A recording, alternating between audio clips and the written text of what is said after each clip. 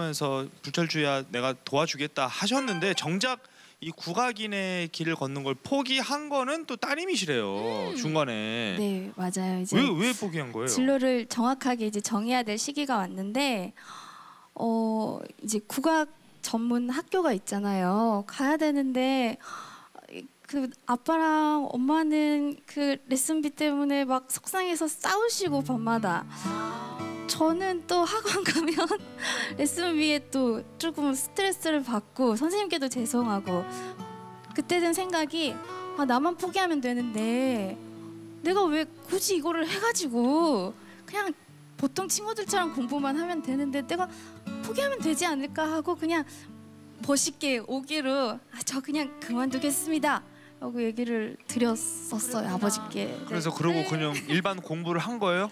네 그래서 저는 수학과를 전공을 수학? 네 들어가서 수학 선생님이 되고자 준비를 장학금도 타고 그래도 어머나. 열심히 공부를 했습니다. 공부를 또 잘하셨네요. 그러게요. 아니 그럼 수학 관련된 일을 할 줄 알았지만 여기서 여기서 뵙는 거는 이제 또 이 결국 또 이 음악 돌고 돌아서 결국에는 진짜 운명 같은 국악인의 길을 다시 걷게 됐어요.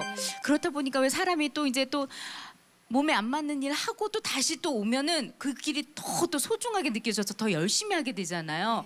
노력 엄청 할 것 같은데 어때요? 무대의 소중함을 그때 정말 깨달았던 것 같아요. 그래서 다시 시작을 하면 어떤 무대, 무대든 가리지 않고 저를 불러주시는 곳이 있으면 무조건 갔어요. 그래서 미술 전시관이나 이런 곳 가면 음향 시설이 하나도 없거든요. 그럼 제가 뭐 이렇게 찾아보면 뭐가 보여요. 스피커도 있고 어디 이렇게 널브러져 있는 마이크도 보이고 그래서 어, 왠지 음향을 잘 만지실 것 같은 스태프분 찾아가지고 도와주세요 부탁도 드리고 해서 그렇게 작은 무대부터 해서 지금